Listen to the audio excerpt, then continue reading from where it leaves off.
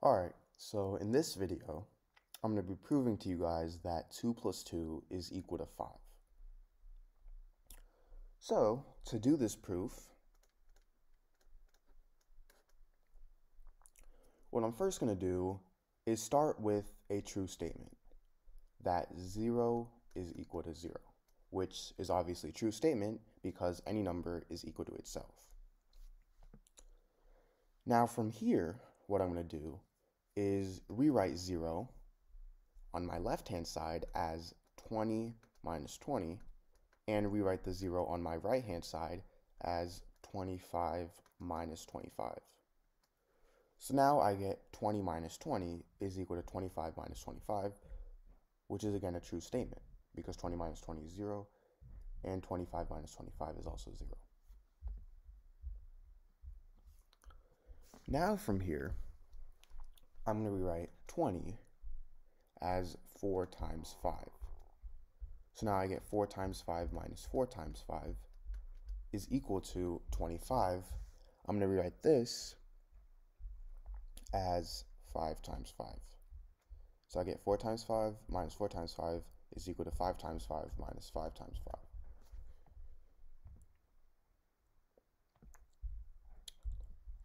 5. And now if I have something in the form a times b minus a times b is equal to b times b minus b times b, which is this form, well, notice how we can change the, we can like simplify this by factoring out a greatest, the greatest common factor.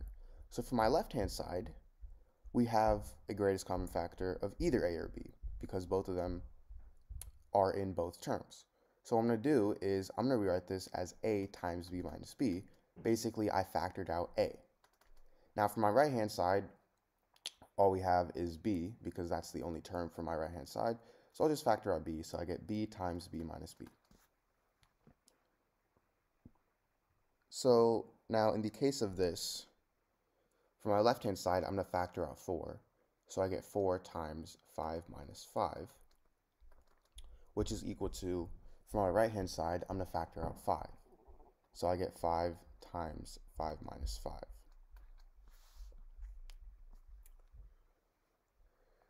So now I have 4 times 5 minus 5 is equal to 5 times 5 minus 5.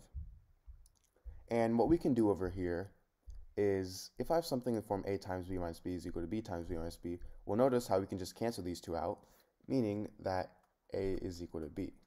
So in this case, I have 4 times 5 minus 5 is equal to 5 times 5 minus 5. I can divide both sides by 5 minus 5. And these two cancel out, these two cancel out, and I am left with 4 is equal to 5.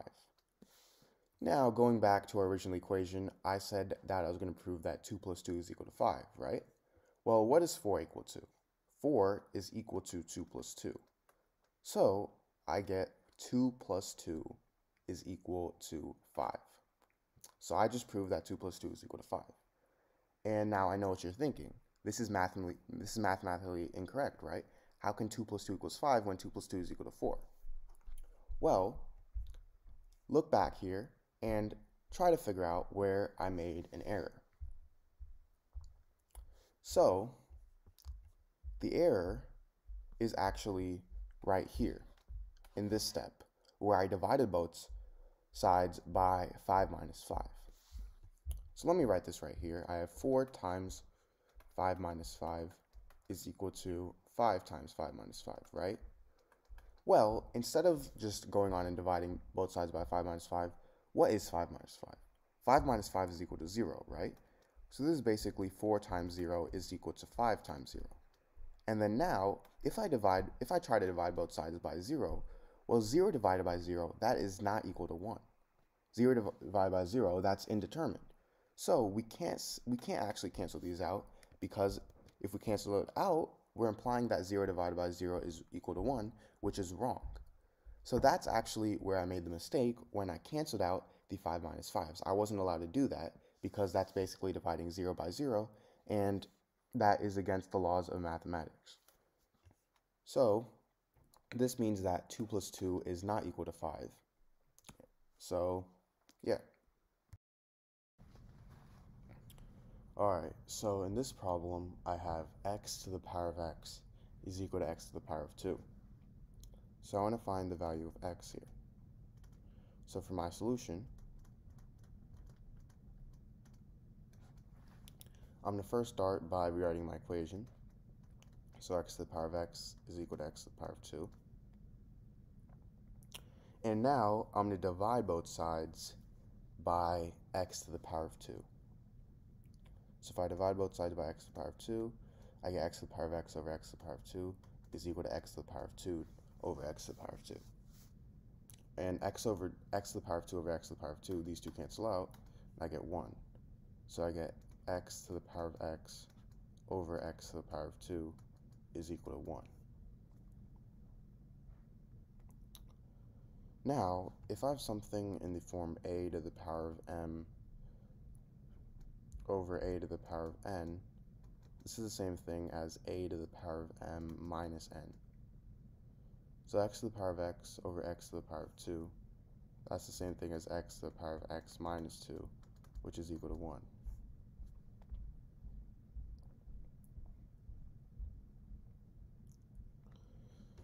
Now, I'm going to take the natural log or ln on both sides. So I get ln x to the power of x minus 2 is equal to ln 1. So if I have something in the form ln a to the power of b, I can move this exponent and b to the front. So it's going to equal b times ln a. So in this case, I have ln x to the power of x minus 2, and I can move this to the front. So I get x minus 2 times ln x is equal to ln 1. Now I can distribute the ln x. So I get x times ln x minus 2 times ln x is equal to ln 1.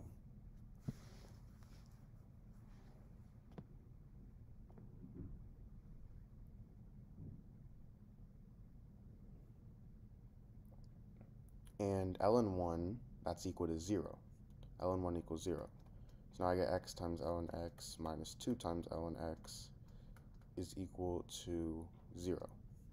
Now, I'm going to go back and factor out ln x. So I get ln x times x minus 2 is equal to 0. And now I get two equations.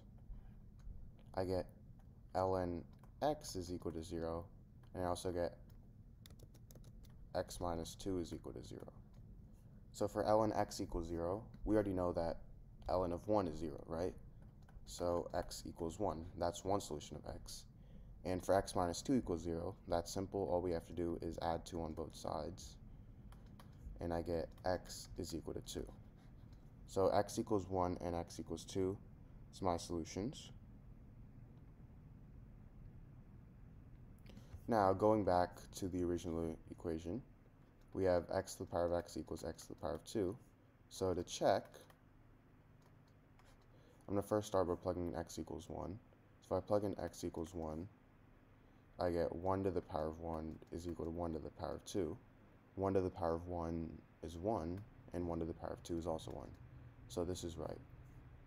Now if I plug in x for 2, I get 2 to the power of 2 is equal to 2 to the power of 2 and 2 to the power of 2 is 4, 2 to the power of 2 is 4, so this is right as well, meaning my two solutions are right.